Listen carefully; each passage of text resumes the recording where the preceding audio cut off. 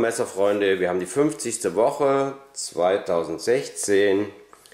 Ich zeige euch heute ein handgemachtes Messer von dem Messermacher Jörg Schneider hier aus Nordrhein-Westfalen. Später noch was zum Jörg. Ich beginne jedoch mit dem Messer bzw. mit der Scheide. Die zeige ich euch separat und die hält das Messer auch sehr gut.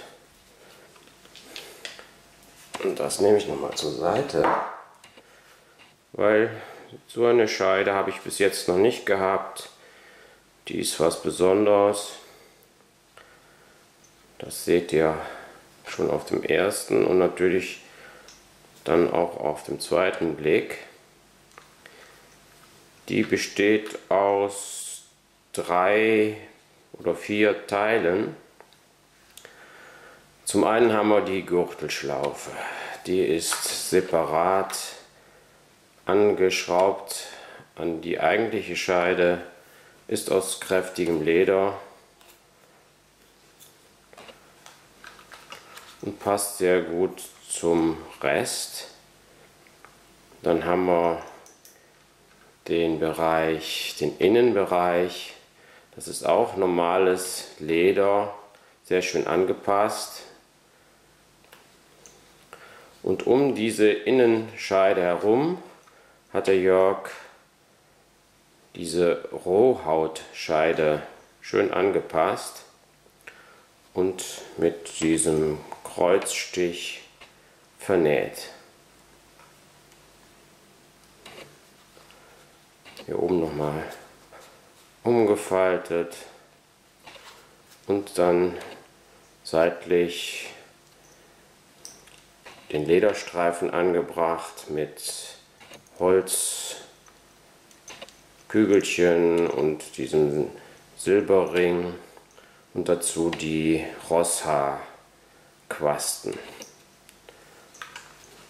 Das alles zusammen macht aus einem schönen Bowie-Messer eben ein Indianermesser. Denn so eine schöne Scheide passt natürlich ideal zu einem Indianer-Outfit. Rohhaut ist ja ein ungegerbtes äh, Leder, also die Haut vom Tier nicht äh, gegerbt, sondern die wird sehr hart, wenn man Haare und Oberhaut entfernt und kann nur mit Wasser aufgeweicht werden und dann angepasst werden. Und dann entsteht dieses schöne Material. Für die Oberfläche ideal und innen drin hat er das natürlich entsprechend schön angepasst. Ja, und Genauso schön wie die Scheide ist auch das Indianer Bowie, das natürlich dazu passt. Ich denke, man hat sich so historische Vorbilder genommen. Man kann schon erkennen auf den ersten Blick, relativ schmaler Griff, wie das im 19. Jahrhundert häufig war und etwas breitere Klinge mit einem ausgeprägten Clip-Point-Design. Ich beginne aber wie immer mal noch mit den Daten. Das Gewicht vom Messer ist 295 Gramm. Dazu Scheidengewicht 115 Gramm macht zusammen 410 Gramm. Die Gesamtlänge beträgt 26,5 cm, die Klingenlänge 15 cm, die Klingenbreite 3,6 cm, die Klingenstärke 5,5 mm. Also kein leichtes Messer.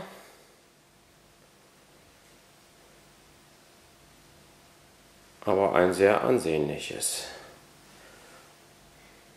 An den Flanken hat er ein Schmiededesign glaube nur aufgetragen. Bin mir aber nicht hundertprozentig sicher. Dann sieht man ein schönes Pfeilbock auf dem geraden Rücken. Schön von Hand gemacht. Sieht jedenfalls nicht äh, so industriemäßig aus. Die falsche, ja, das ist in dem Fall gar keine Schneide. Dieser Clippoint bis Spitzenbereich, schön konkav genommen. Und die Spitze liegt über der Mittelachse. Das ist schön ausgeprägt. Und dann die Flachschliffklinge, Schneide mit dem sehr bauchigen Vorderbereich, der hinten gerade wird. Übrigens hier seht ihr seine Schmiedemarke, der Kreis mit dem J und dem S verbunden für Jörg Schneider. Ja, dann kommt der Handschutz, dieses ovale Parierplättchen. Sehr schön angepasst und geht über in den Griffbereich mit der Fulltang Klinge und den aufgesetzten dunklen Holzschalen, vermutlich Ebenholz. Die sind mit vier Pin gehalten.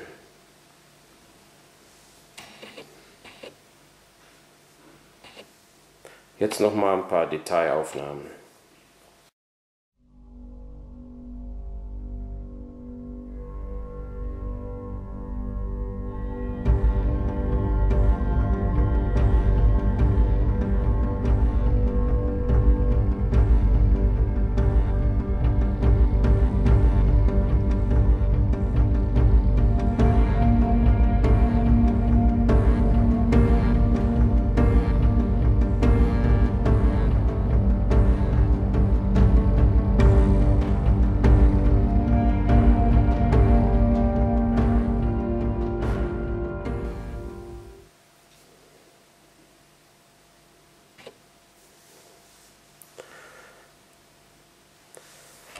So, jetzt nochmal zur Haptik. Dieser Griff,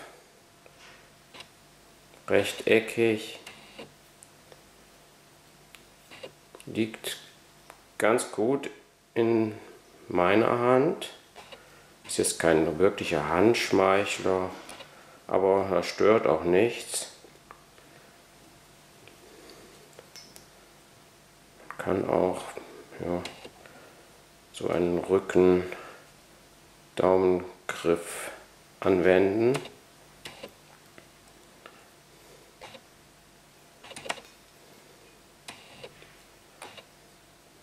Also das ist wirklich okay.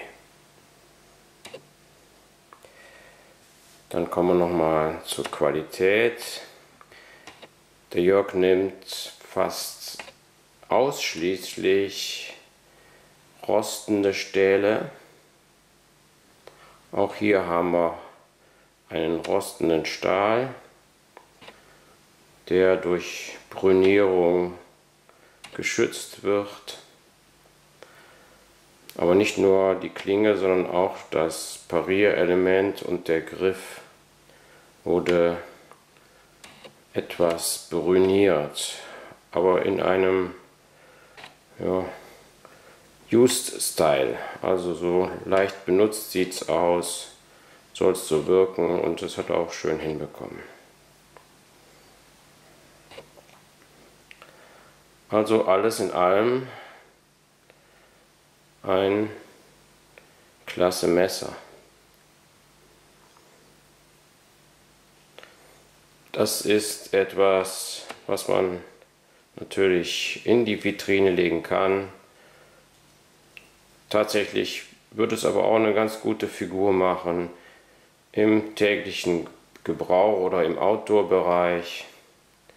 Da mache ich mir keine Sorgen. Ich denke mal, als Handwerksmeister hat der Jörg schon Ahnung, wie er die Klinge richtig Wärme behandelt und hart und zäh bekommt. Das ist ein tolles Stück. Der Jörg selber ähm, ist nicht im Internet direkt zu erreichen. Man kann ihn natürlich über E-Mail erreichen. Ich kann mal die E-Mail-Adresse unten reinsetzen. Ähm, er hat auch mit seinen Freunden zusammen einen Messerstammtisch, der heißt Messerstammtisch Vorgebirge. Und äh, da gab es 2013 mal eine, ja, eine Internetseite, die gibt es immer noch. Die wird aber nicht regelmäßig gepflegt. Da könnt ihr euch auch nochmal angucken beim Messerstammtisch Vorgebirge unter Jörg. Da stehen noch, noch ein paar Angaben über ihn und seine Lieblingssachen. Also er macht Bowies, Trappermesser, so Frontier, Bowies, Skagels. Grundsätzlich hat er da seine Nische gefunden. Jo, das war's wieder mal, Leute. Und ich hoffe, dieses... Ah ja, bevor ich zu Ende gehe, mache ich noch mal kurz einen Vergleich, nur mal einen Größenvergleich. Das Mora-Messer als kleiner Größenvergleich und nur mal so, weil es schön aussieht, noch zwei andere Indianermesser dazu. Einmal so ein Beaver Tail und ein Skinner mit Adlergriff. Das ist doch eine schöne Dreier-Serie. Gut Leute, das war's wieder mal. Bis demnächst. Ciao.